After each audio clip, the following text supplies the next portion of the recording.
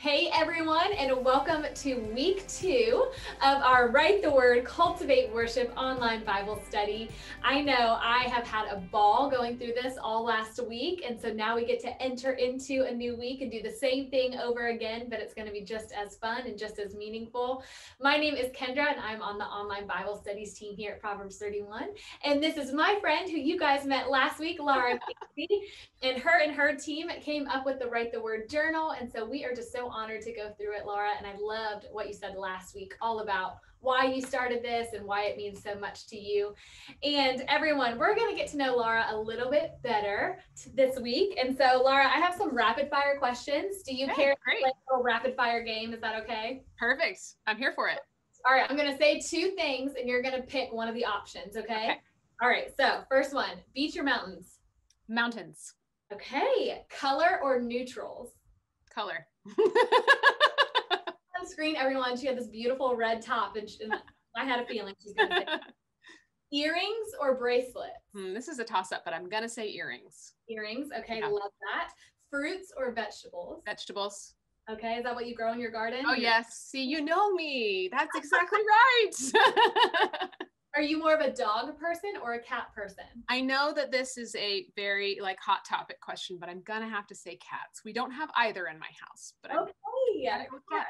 love that. Sunshine or rain? I need both in my garden, but I'm going to go with sunshine. So true. And then last but not least, sweet or savory? Savory. Savory. A favorite snack, a favorite Bible study snack that you like to oh, have? Oh, any type of salty things, nuts, chips, guacamole, salsa. My list is long. Oh, I love that you have a little dip spread. oh yeah, oh, yeah. No, I'm more just pull it straight out of the refrigerator. Yes, Oh, the whole thing. Let's just do it up. That's great. I love really fun, Laura. Thank you for playing that little fun game. And so now we're going to go into the teaching portion of this of this video. So last week we heard from you all about why is worship important and the importance of it.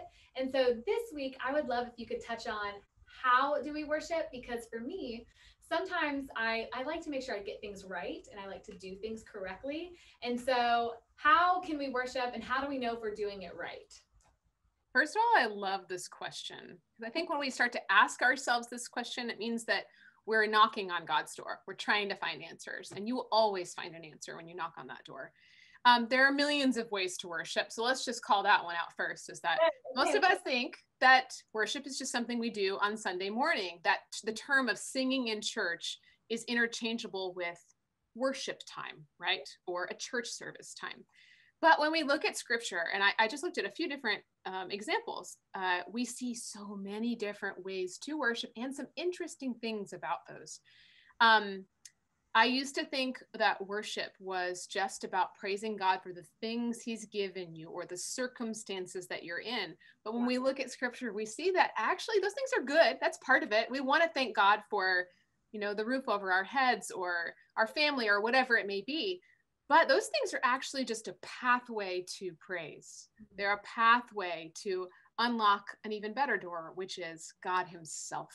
True worship is really all about Him. So, okay, couple examples here.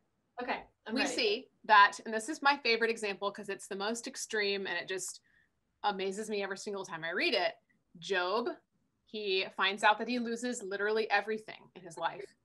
It's wild. Everything. It's wild. It's absolutely wild. And every time I read the words Job worshiped right after he finds that out, I am amazed. I'm truly amazed. Um, but here's what happens with Job's story is eventually through a lot of complaining, which I've done a lot of that too. Job does come to a point where he says, I'm not just thanking him for the things that I have because they were all taken away from me. I am praising the Lord for who he is. We see the same thing with the woman who brought the alabaster box of oil to Jesus. And she also says, in that gift, she's essentially saying, God, you are king. You are king. She doesn't say, Hey, Jesus, thanks for providing me for this nice oil. I'm going to put it all over you right now. No, she's she's in that act of worship, in that gift. She's saying, God, you are king. You are my king. My it's an intimate act of worship. And then the other one that comes to mind, there's so many, but is Abraham who is willingly about to offer his son to sacrifice again. Story blows my mind. right? Thanks, Bible. um, But again, he is, in essence, in bringing his son up that mountain and preparing him for this unimaginable thing. He's saying, God, you are God. So there are so many ways to worship. I can worship as I'm taking out the trash. I can worship as I'm doing laundry. I can worship as I'm in the garden. And here's how we, we just follow the same example of those that have come before us. We can do those things and proclaim at the same time God, you are. And you can fill in the blank on that. And I, would ask everyone to do that right where you are right now.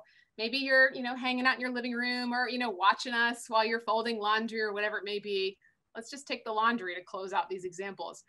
the laundry, I can't actually worship as I'm doing the laundry and folding all the little boy undies because piles. Oh yeah, all the piles, all the piles. I can I can worship and here's how. It's not that I need to sing while I do it.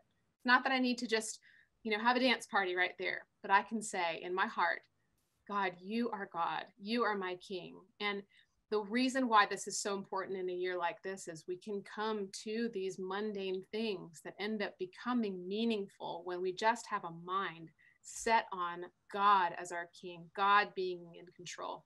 Yeah. And whatever we do, we can say to ourselves, God, this is really hard. This thing you've brought me to is really hard, and you are God. And to me, that's how we snap ourselves out of a, a year like this and the mindset that it's been so crushing for so many of us is we come up to these things like taking out the trash and we're thinking about all the hard things that have happened in the world or whatever it may be. And we get to pause and say, no, these things are hard and this is really difficult. And you are God, you are in control, which helps us to remember who we are in his eyes too. That's so good. I like how you gave three examples. So there was um, Job who worshiped with his words, right? Yes. Then there was the woman with the oil who worshiped with a gift. Um, she came to him with a gift. And then there was Abraham who worshiped through an act.